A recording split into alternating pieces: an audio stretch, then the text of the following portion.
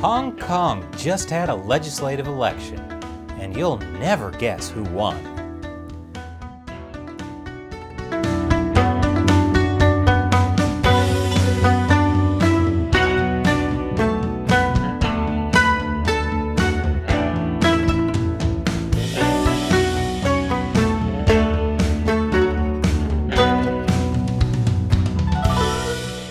Welcome to China Uncensored. I'm Chris Chappell.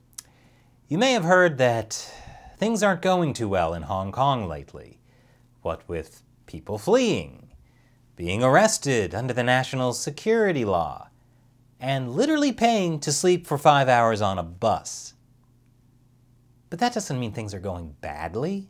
Sleeping on buses is great. And as for elections, well, Hong Kong just had their first Patriots only legislative election on Sunday. The Patriots only election was just as fun as it sounds. In fact, most Hong Kongers were having too much fun to actually vote. There was record low voter turnout. And out of the 90 seats in the Legislative Council, known as LegCo, 89 seats were won by pro Beijing establishment candidates. Only one was won by a non establishment candidate. But this didn't happen because Hong Kongers are suddenly super pro establishment. They didn't go from fighting the power to voting for the power. No, this was the Chinese Communist Party completely taking over Hong Kong's elections. Here's how they did it voting in Hong Kong has always been complicated. Hong Kongers can't directly vote for most government officials. In fact, the 2014 Umbrella Movement protests were about people demanding the right to directly vote for Hong Kong's chief executive. That's why the banners said things like, I want true universal suffrage. Letting people directly elect the chief executive was something the Chinese Communist Party had promised. But then they broke that promise. I know, you're shocked. Meanwhile, this Legislative Council election that just happened was actually supposed to happen back in 2020. Then, just a month after the Chinese Communist Party imposed a national security law on Hong Kong, Chief Executive Carrie Lam postponed the legislative election for over a year uh, due to COVID 19. Many people were skeptical that COVID was the real reason for the delay. But I think it's pretty clear Carrie Lam just wanted to keep people safe from democracy. Because conveniently, postponing the election for a year gave Beijing enough time to set up a new Patriots only overhaul. It was effectively a purge of Hong Kong's election system. Under the overhaul, only 20 seats were directly elected by residents. The rest were chosen by industry groups or Beijing loyalists. Here's how Hong Kong's LegCo used to work. There were 70 seats, with 35 elected directly based on geography and 35 elected by what are called functional constituencies. Those are basically industry groups that represent different parts of Hong Kong's economy. Because most functional constituencies are pro Beijing, the establishment candidates would win the majority of the seats. The system was purposefully rigged so that it was almost impossible for pro democracy political parties, known as the Pan Democrats, to win a majority. But almost impossible wasn't good enough for the Chinese Communist Party, for reasons I'll get into a little later. So, as part of their Patriots only election purge over the past year, the Chinese authorities actually added 20 seats to LegCo, making 90 total. But they also gave the election committee, which picks the chief executive, the power to choose 40 LegCo seats. 30 seats are chosen by the functional constituencies, and only 20 seats are directly elected now. So now, it's even more impossible for pro democracy groups to win a majority. But that's still not good enough for Beijing. They need it to be even more, more impossible for pro democracy groups to win. So now, the election committee also gets to approve all of the candidates. You can't run if you don't get nominated by the committee. And that's not all. Even after securing at least 10 nominations from the election committee, potential candidates had to be screened by the National Security Police. as well as by an eligibility review committee. Running for LegCo now sounds harder than adopting a baby. Why did Beijing put all these new rules in place? It's because back in the 2019 elections, the Pan Democrats whooped Beijing's butt. More after the break. Welcome back. In 2019, Hong Kong held local district council elections. This is the equivalent of voting for city council members. You know, people who handle when to do trash pickup and where to put traffic lights. But the difference was in 2019, these local elections were happening after six months of massive protests against the government. So when Hong Kongers got the chance to vote in any election, even the local elections that people don't usually care about, they showed up. There were lines around the block in the highest turnout ever seen in any Hong Kong election. And Hong Kongers voted for hundreds of pro democracy candidates. The Pan Democrats won more than six times as many seats as the pro Beijing establishment, taking over 17 out of 18 district councils. It was a total blowout. And apparently, it caught Beijing totally by surprise. This is why you shouldn't read your own propaganda. The Communist Party had no idea what was actually going on, and they were humiliated. But as the Pan Democrats emerged victorious in 2019, they set their sights on an even bigger prize, winning a majority in LegCo in 2020. That would give them the chance to block proposals from the pro Beijing legislators and maybe actually pass their own laws. Now, I said the system was rigged to make that almost impossible. But because of their blowout win in the district councils, the Pan Democrats had a slim chance. You see, the district councils were actually one of the functional constituencies with seats in LegCo, and the Pan Democrats now had those seats. If they could win just enough of the directly elected seats, they could actually have a majority. So, they held a primary election in July 2020 to make sure they didn't split the pro democracy vote But the Chinese Communist Party didn't like that idea.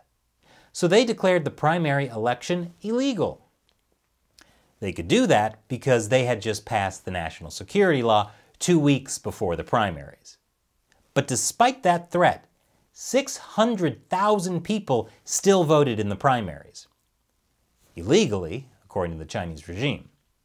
And with the national security law in place, Beijing was able to start gutting the LegCo election. First, by delaying the election until 2021, and then by making a bunch of stuff illegal under the national security law. For example, by disqualifying activists like Joshua Wong and other pro democracy figures from running in the election. Then, kicking out four pro democracy legislators, leading the rest of the Pan Democrats to resign from LegCo. Then, arresting 53 activists who had participated in the pro democracy primaries. The Hong Kong authorities said participating in the primaries amounted to trying to overthrow the government. Yes, those wily pan Democrats, overthrowing the system by trying to get elected within the system. No one saw that coming. But once the Chinese Communist Party started their Patriots Only LegCo elections, that's when things really started getting interesting. I'll tell you why after the break. Welcome back.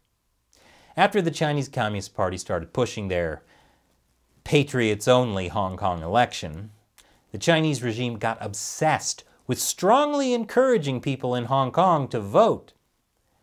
People weren't thrilled with voting in an election that actually reduced democracy in Hong Kong, which is why they started talking about leaving votes blank or not voting at all. Good news the Communist Party said leaving blank ballots was not illegal. Bad news. The party said inciting other people to leave blank ballots was illegal. And they actually arrested people for it. Yes, Hong Kong is a place where they went from punishing people for wanting to vote in elections to punishing people for not wanting to vote in elections. Meanwhile, the Pan Democrats did not run at all in the elections which is another reason the pro Beijing candidates swept into office. It's hard to run for office when you're in prison for running for office. But at some point, the Chinese regime realized that turnout in this election was going to be pretty bad, which it was. Despite the fact that the Hong Kong government tried to do things like give everyone free public transportation for the day, which may have backfired as it appears a lot of people took public transit to go to the mall. But that's okay, because Hong Kong Chief Executive Carrie Lam came out to say ahead of the election that low turnout in the election is not bad. It just means the government is credible and doing well. Yes, people not voting doesn't mean they're fed up with the government. It actually means people love the government. They love the government so much they don't even need to vote, which is exactly the same system they have in mainland China. Unfortunately, Western liberal democracies don't seem to understand China's unique system, since they've condemned the Hong Kong election for the erosion of democracy. There's no erosion of democracy. And if you say there is, that's violent interference. Look, Hong Kongers are showing they love the government by voting in the election. And they're also showing they love the government by not voting in the election. Don't think about it too hard or your brain will explode. Now it's time for me to answer a question from a member of the China Uncensored 50 Cent Army. Fans who support the show on Patreon or Locals. DPR of DC asks on Locals, why stop with local party officials? Why not blackmail foreign nationals, visiting dignitaries, traveling businessmen, investigating scientists, or world sport governing officials? DPR of DC is referring to our recent episode on the Shanghai Red Mansion, a sex trafficking and prostitution ring that operated for 20 years. The owner of the Red Mansion had blackmailed local party officials by inviting them to sleep with prostitutes and then secretly filmed them. Well, DPR of DC, they do blackmail foreign nationals. Not the Shanghai Red Mansion guy specifically, but the Chinese Communist Party has definitely honey trapped more than one high profile foreigner. We just usually don't find out about it. There are some notable exceptions when we do find out, like the case of Neil Bush, the brother of former President George W. Bush. Back in 2003, during his divorce proceedings, it came out in court that Neil Bush had slept with many women on his business trips to Hong Kong and Thailand. The women, he said, simply knocked on the door of his hotel room, entered, and had sex with him. He said that he did not know if they were prostitutes because they never asked for money and he did not pay them. So either Neil Bush is really stupid or, okay, no matter what the explanation, he's really stupid. And I can only guess that Neil Bush brings that same level of awareness to his business dealings in China, because Neil Bush had several shady business deals, including a deal with Grace Semiconductor, a company managed by the son of former Chinese leader Jiang Zemin. Jiang Zemin also apparently had dinner with Neil Bush and serenaded him with a military song. I didn't realize that random women knocking on Neil Bush's hotel room door would be the least weird part of the story. Anyway, almost 20 years later, Neil Bush is still a stooge for the Chinese Communist Party, writing pieces like this. There's also the case of Ian Clement, a former aide to UK Prime Minister Boris Johnson. Clement admitted he was honey trapped during the Beijing Olympics in 2008. He claims the women drugged him and searched his papers and his Blackberry. Clement also admitted that he was briefed by MI6 about honey traps before going to China, but he still fell for it anyway. You get the picture. The stupid, stupid picture. Thanks for your question, DPR of DC, and thank you for supporting China Uncensored on our locals community. We rely mainly on viewer support to help this show keep going. So, if you like what we do, be like DPR of DC and join us on locals or the crowdfunding website Patreon. Once again, I'm Chris Chappell. Thanks for watching China Uncensored.